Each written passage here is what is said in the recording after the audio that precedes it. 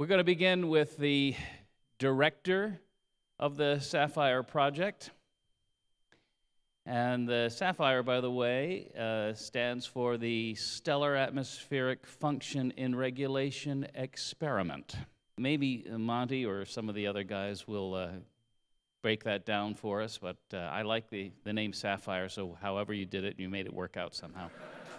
Uh, Montgomery Child's background in uh, mechanical engineering and applied physics, uh, the, the, founder of the Artus Corporation, and uh, just a great piece of good fortune that he should cross the paths of the electric universe a few years ago, as he did, and gang up with these guys to create this wonderful project. Welcome to the stage, Monty Childs.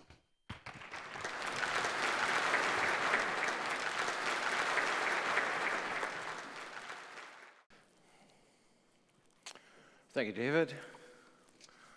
Wow, it's uh, we were here last night, and uh, I hope you all enjoyed the first, I guess, really the first cut of uh, the SAFIRE film that Ben Gedlow uh, put together.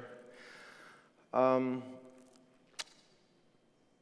these presentations that you're going to see today are different than they have been in the past. Uh, I've given an overview of what SAFIRE is my first evaluation a few years ago, and second and third. But SAFIRE uh, was launched, and the proof of concept was conducted, and we got uh, some spectacular results from it. So, before we get into it, um, I want to thank everyone for coming here to this conference and the thousands who are watching this live. And for those of you who are new, uh, welcome. So I'm truly, I am truly privileged and honored to be here. Uh, if it had not been for uh, Wal Thornhill's work and some questions that I had, and for Scott and Bruce Mainwaring for making this possible, uh, we would not be doing SAFIRE. Now, what I want to get into today is uh, what the team will get into is you're going to get into some detail. And some of the detail is fairly complex um, with regards to the methodology that we bring to bear on SAFIRE. Uh, we've worked very hard to break down the concepts of designs of experiments and the scientific method. Uh, some of you may criticize some of the slides because they may be simple, but we're trying to get across some of the concepts and principles of, uh, of what it means to do data acquisition and uh, you know the kind of testing. So I think you're going to find that SAFIRE is an extraordinary science endeavor, and that it's leading us to new horizons in physics. There are two ideas about the sun. The one that you're all familiar with is that the sun is a nuclear fireball. The gravity over billions of years compressed matter in the core of the sun to cause its thermal temperature to be around 15 million degrees.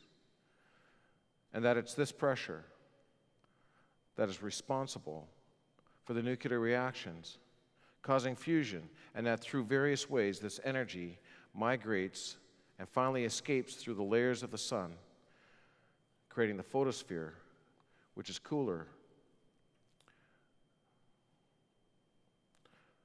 at about 6,000 degrees Celsius. And then further on out to the corona, where the temperature again rises up to around 2 million degrees. But this is one of many disparities that heliophysicists have spent years working on to discover why does the sun shine? But there's another concept, a model, if you will, a hypothesis that the sun is electrical in nature, that the sun is a positively charged body in a general, generally negatively charged environment. I was asked to review and do an evaluation and analysis of the electric sun hypothesis and see if it was possible to test it. The evaluation showed that based on prior work by Crookes, Birkeland, Schmidt, and Fiorito, and many others, that in fact a test was feasible. And SAFIRE moved from a possibility to a reality. I needed to put a team together, the best minds, pragmatic, and above all, disciplined. The SAFIRE team does not hold to any one theory or another. We do not have a horse in this race. We do not belong to the EU community. We are testing the electric sun hypothesis to shake it out and see if it's false or if the test supports the theory. SAFIRE is pure science, what is called basic research. But why do this research? What if we discover that electricity is playing a much greater role in the formation of stars and the way they work, the processes, and the mechanisms that cause them to shine? What if stellar fusion is occurring in nature for another entirely different reason than pressure and heat? How might this affect the way we get energy to heat our homes or travel? What about space travel? What if space really is teeming with charged particles, as Wal Thornhill has proposed? Personally, I think the positive impact toward humanity would be huge. You will see today the questions we ask, the techniques and methods we impose, and the technology we have used and will use in SAFIRE. Phase one was to determine if we could measure inside a hostile plasma environment and gather data. And now, phase two is to apply what we learned. Let me recap some of the notable things we discovered in phase one, the proof of concept. We found that the plasma formed its own spherical atmospheres, not only one, but two, then three, and at times over 15 stratified atmospheres. They were all spinning around each other. But the plasma, it's also extremely sensitive. Almost anything that has the ability to accept or emit an electric charge or magnetic field can change its behavior. But there's even more. We discovered that when we zoomed into the core, we observed what appears to be a dark layer between the extremely hot ion cloud and the core. The ions did not act normally by going out toward the cathode region. They appeared to be trapped. And they got even hotter and more dense. And then another event occurred.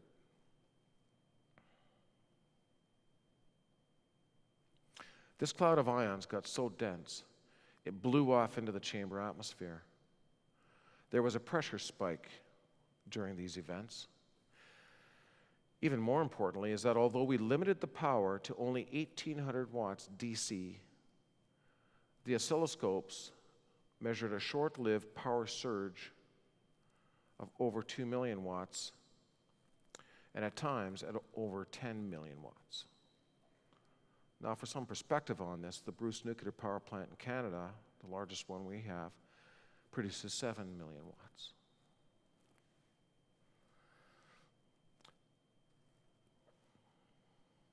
SAFIRE produced anode tufts, and they would spin, sometimes at the poles and other times around the equator. Now, I'd like to clear up a few ideas floating around regarding pushing the plasma or overpowering it. SAFIRE does not act in this typical manner.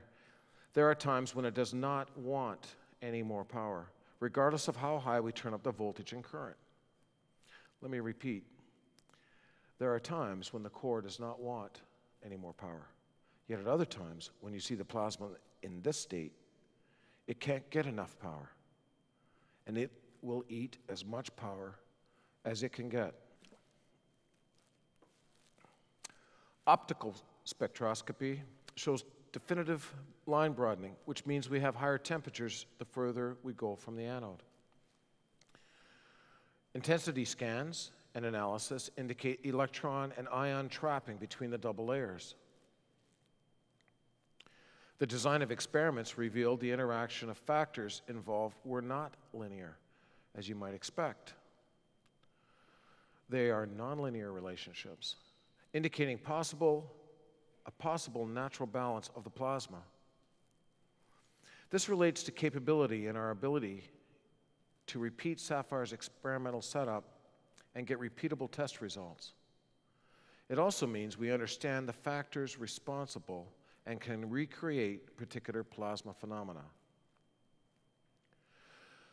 We found that SAFIRE often released huge power surges, as I mentioned.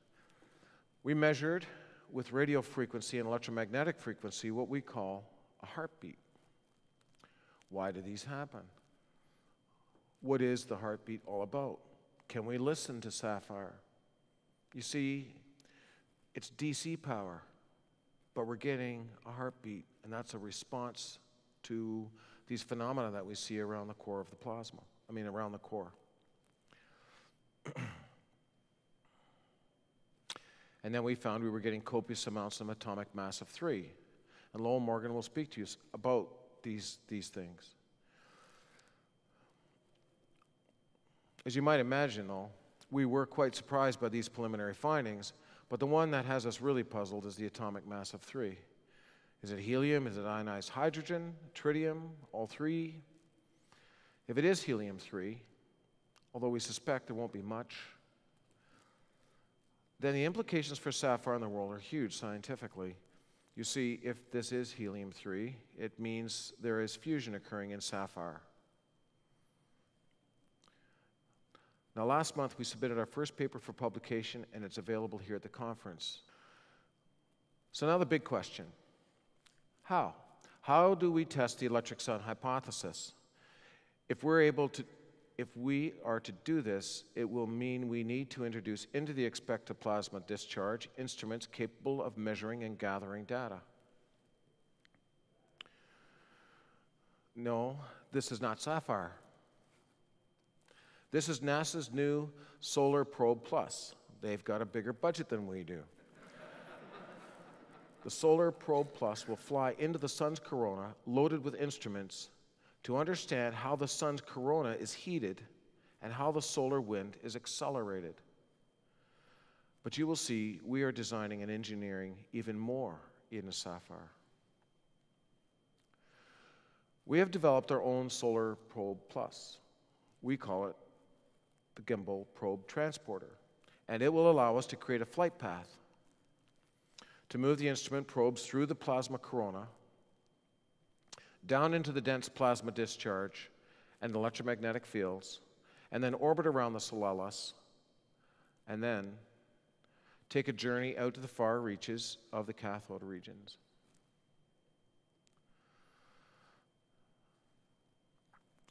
This short video was created as a walk around of SAFIRE. The two units on top, on either side, are the gimbal probe transporters. The probe allows us to attach a variety of instruments and give us complete freedom to explore throughout all of the plasma discharge regions. The probes are isolated from the plasma so they don't interfere with the discharge and are driven by servo motors with a positional spatial accuracy of 0.05 millimeters.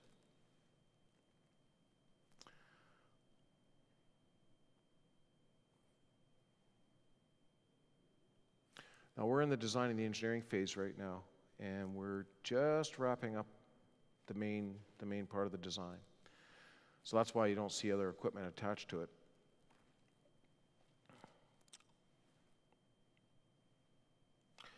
The probe gives us, in engineering terms, six axes of freedom.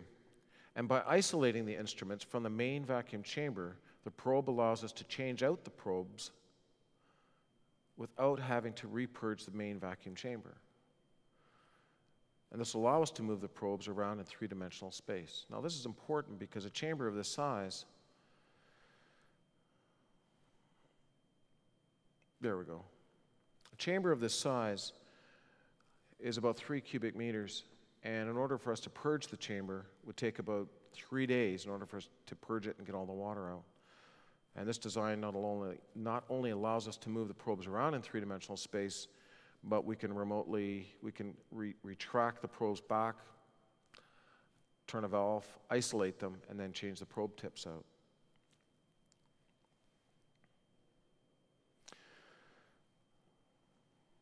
The servo technology will allow us to pre-program motions or probe flight paths, similar to what we see with a satellite or what a comet might do. The other probe can follow this probe. We can do differential measurements. And I'll show you a little bit more about that uh, as we move along here. So now that you've seen the gimbal, the next question is how do we get the data back to the instruments? Each probe is mounted to the long shaft you saw moving in the chamber in the previous video. In SAFIRE's case, the signals coming from the optical and mass spectrometers and Langmuir probes travel up along the probe and through the probe shaft. Then exit out through vacuum sealed flanges to the respective computer controllers.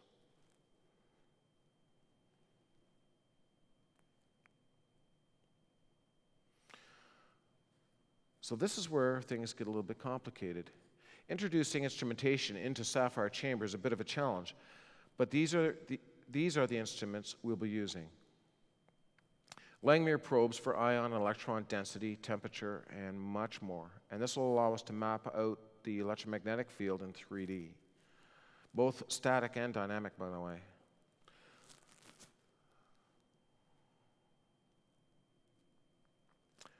Mass spectroscopy for atomic and molecular analysis.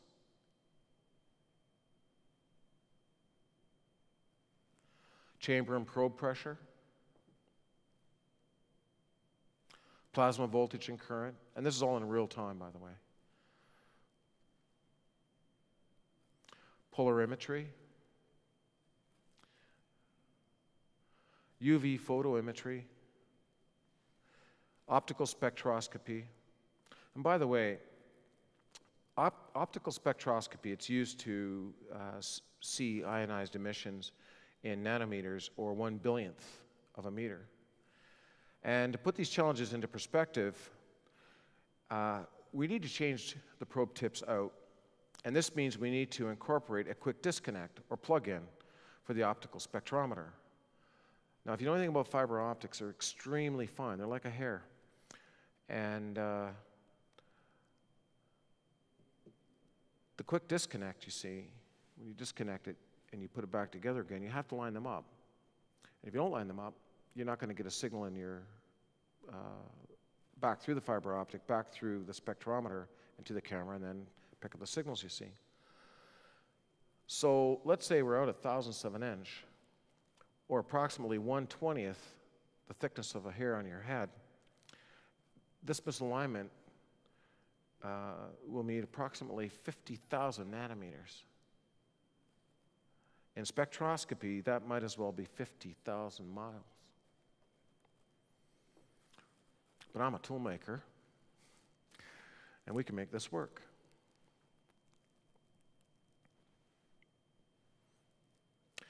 In the upcoming video, we'll look at spatial overlap and what the gimbal probe transporter will allow us to do. I've suppressed the chamber walls so you can see things more clearly. The probe will allow us to measure in two places at one time while moving the probes through the chamber. This allows us to measure the difference between two regions at the same time to see if ions are accelerating, as an example, or if the electromagnetic field is stronger in one area than another, which we expect it will be. It also allows us to do synchronous motion of one probe to the other, and we'll be able to use joysticks to manipulate the probes remotely. So if you remember the small anode tufts, if we bring the probe down there, we can move it with a joystick to bring it into the region of the anode tuft and measure, measure its characteristics. Now, the purple and yellow represent two conical, you might say, spatial envelopes, three dimensional spatial envelopes. And what they're showing you here in the video is that they're overlapped. So they're fairly large, but it allows us a huge amount of freedom without interrupting the plasma. But this is not all. To thoroughly test the electric sun hypothesis, we'll be looking at ways to test the interaction between the sun and comets. The Rosetta mission have landed a spacecraft on the surface of Comet 67P, and we have access to the data.